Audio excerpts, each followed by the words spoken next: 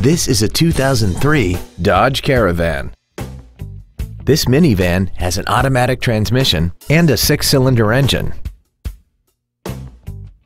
Features include air conditioning, a passenger side vanity mirror, a passenger side airbag, and an auxiliary power outlet.